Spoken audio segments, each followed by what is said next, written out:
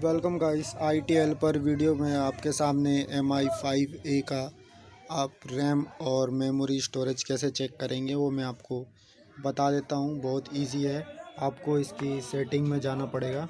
यहाँ से आप इसकी सेटिंग में जाओगे, यहाँ से आप सेटिंग में जा अबाउट के अंदर।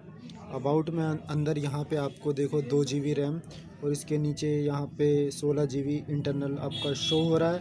आपको इसका वाईफाई, मैक एड्रेस और सिम एड्रेस जो भी है, आईपी एड्रेस सब आपको यहाँ पे शो हो जाएगा इसका आईपी एड्रेस और WiFi, MAC address, Bluetooth, serial number यहाँ पे आपको सारा शो हो जाएगा। आई एम आई नंबर यहाँ आपको मिल जाएगा। इस पर क्लिक करेंगे एरो पे तो ये आई एम आई नंबर यहाँ पे आपको शो हो जाएगा।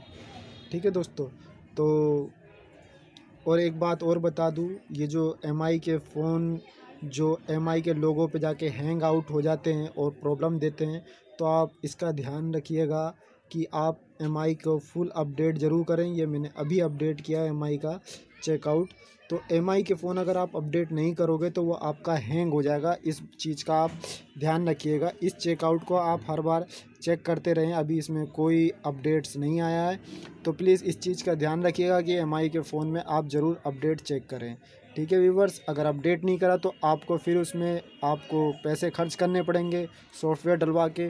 फिर आप उसमें फिर उसे सॉफ्टवेयर डलवाने के बाद फिर वो अपडेट का ऑप्शन आता है, जिससे कि आपको टाइम और पैसा दोनों बेकार जाता है। तो प्लीज़ पहले ही आप अपने फ़ोन को एमआई को अपडेट कर लें। थैंक्स फॉर वॉचिंग व्यूवर्स और अगर ये वीडियो आपको अच्छी लगे प्लीज़ आई टी हेल्पर के चैनल को ज़रूर सब्सक्राइब करें। Thanks for watching